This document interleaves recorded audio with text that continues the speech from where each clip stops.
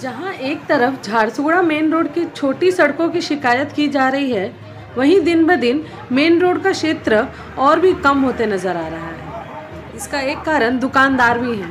कई दुकानदार अपने दुकान के सामानों और बैनरों को रोड पर ही रख देते हैं, जिसके कारण आने जाने वाले लोग और आसपास के दुकानदारों को भी दिक्कत होती है। ऐसी ही एक घटना नज़र आई है, योगेंद्र रेसिडेंसी के सामने, जहाँ दो दुकानदारों के बीच हुई झड़प। झड़प के कारण काफ़ी भीड़ देखने को मिली। आप वीडियो में देख सकते हैं कि कैसे दोनों दुकानदार काफ़ी आक्रोश में हैं। सामान बाहर रख देने के कारण काफ़ी बहस भी हुई। ऐसे ही शिकायत के खिलाफ अमीशा ज्वेलर्स ने भी म्यूनसिपालिटी में शिकायत दर्ज कराई।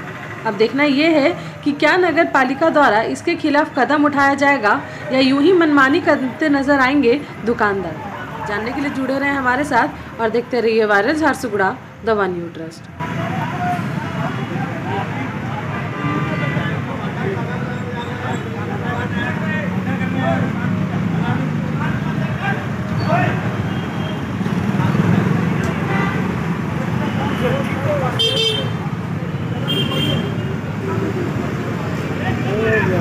अब हर कोई पहनेगा ब्रांडेड कपड़े।